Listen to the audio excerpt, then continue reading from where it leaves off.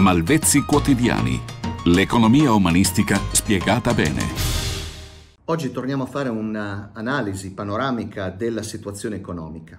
I dati del PIL, cioè del prodotto interno lordo, del secondo trimestre del 2023 e sull'inflazione che si è registrata a luglio nell'area euro confermano le tendenze già in atto. Si è registrato cioè un rallentamento totale della crescita, in particolare in alcuni paesi dell'area euro, con Italia e Portogallo che hanno segnato una forte diminuzione trimestrale. La Germania? Beh, la Germania continua a lottare con un PIL stagnante a causa della difficoltà del settore manifatturiero tedesco. La Spagna invece ha mantenuto una solida crescita trimestrale e la Francia ha sorpreso positivamente grazie ad esportazioni e investimenti aziendali.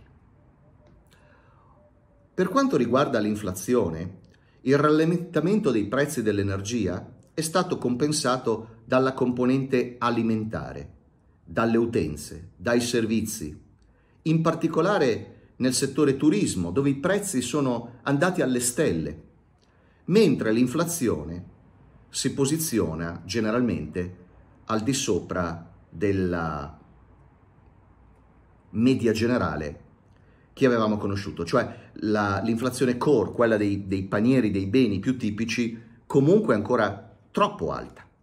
Lagarde ha sottolineato che anche se si decidesse di fare una pausa a settembre, non sarà necessariamente uno stop definitivo, perché ci sarebbe, da parte loro, preoccupazione per la possibile ripresa dell'inflazione dopo il rallentamento degli ultimi mesi, che però, come abbiamo visto, è a macchia di leopardo.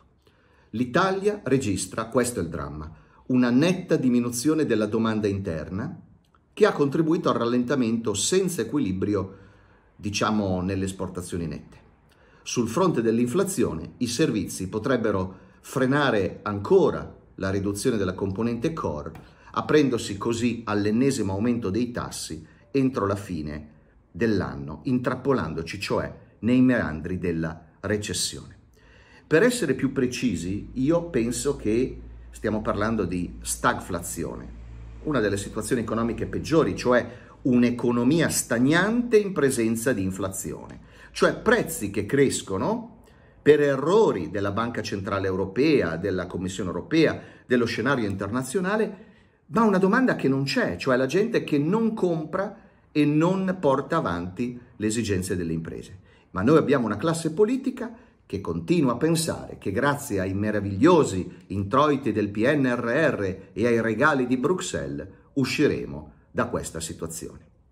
Come avrete intuito, chi mi conosce da qualche anno sa che io non penso che quella sia la soluzione. Dobbiamo tornare a parlare di industria, di imprese, di agricoltura, di servizi e meno di burocrazia europea. Anzi, facciamo una cosa, cancelliamola proprio. Malvezzi quotidiani. L'economia umanistica spiegata bene.